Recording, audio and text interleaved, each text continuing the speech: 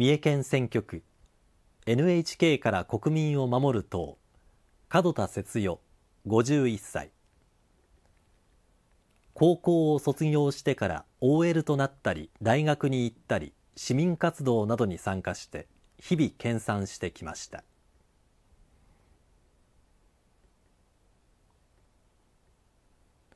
では門田節代さんの政見放送です。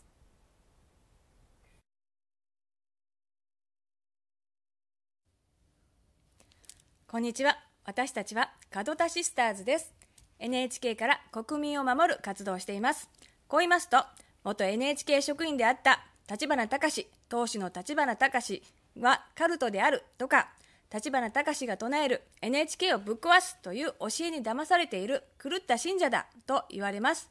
しかし違います。NHK はぶっ壊さなければなりません。なぜならば受信料制度が不公平だからです。スクランブル放送を導入して NHK を見たい人だけがお金を払って見るというようにすればいいんです。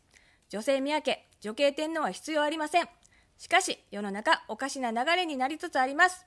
家にテレビがなくても NHK なんか見たくなくてもパソコンやスマホを持ってるだけで日本国民全員が NHK の受信料を払わなければならなくなるような流れです。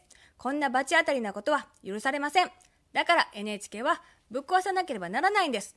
どうか皆さん、心の目で見てください。魂で感じてください。せやけどお姉ちゃん、うち朝ドラ好きやで。あんた頭に虫でも湧いてんのんちゃうかせやけどお姉ちゃんうち大河ドラマ大好きやでうんあんた笑ってても顔ぶっ細工やなせやけどお姉ちゃんうち「紅白歌合戦」出たいねん。あんたみたいなもん枕営業したって出れるかいな。NHK さんだってな相手選ぶ権利あるわ。まあまあ落ち着きなさい騒がしい妹たちですね。NHK さんが見てるところで喧嘩なんかしたら飽きません。私たち3人とも受信料払ってないんだから。そんなこと言うけどな。NHK さんの職員の給料平均1780万円以上もあるんやで。しかもな新社屋の建設費東京オリンピックスタジアムより高いんやで。あそれうちも聞いたことあるわ。けどそれ必要経費なん違う？あんた一体誰に洗脳されたんや？NHK 見てたらそんなアホになってしまうんか。怖いな。これそんな本当のこと言うたら飽きません。ヘイトスピーチで死刑になります。NHK は受信料でボロ儲け。職員はインサイダー取引。覚醒剤性犯罪。悪いことばっかりしてんの。でもねそれは秘密なんですよ。なんせ NHK は日本で唯一の公共放送局なんですから。こんな立派な放送局でね、気象予報士の女性がセクハラ、パワハラ、いじめに遭うて、生放送中にメソメソしてしまったことは、絶対にトップシークレットなんですよ。ああ、あれは冬の寒い夜、こんな感じやったね。こんばんは、山形の気象情報です。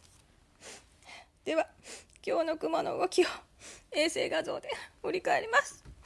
低気圧はオホーツク海にうわ誰がやっても同じや同じや思てこの世の中を変えたいああ西から低気圧が接近して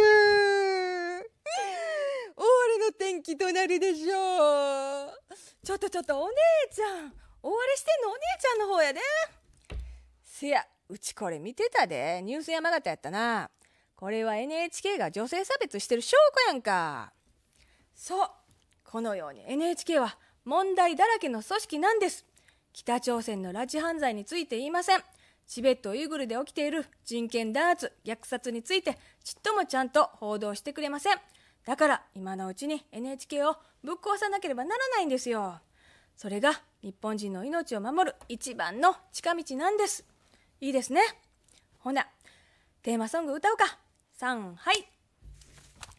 うちらよ大きな N 国娘。NHK をぶっ壊す。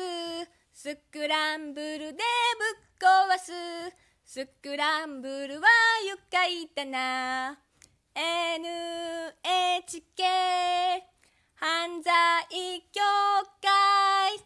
NHK ハレンチ協会。NHK をぶっ壊す。じゃかじゃん！Thank you 皆さん NHK から国民を守る党に清き一票をよろしくお願いいたします。NHK をぶっ壊す。NHK をぶっ壊しましょう。お願いいたします。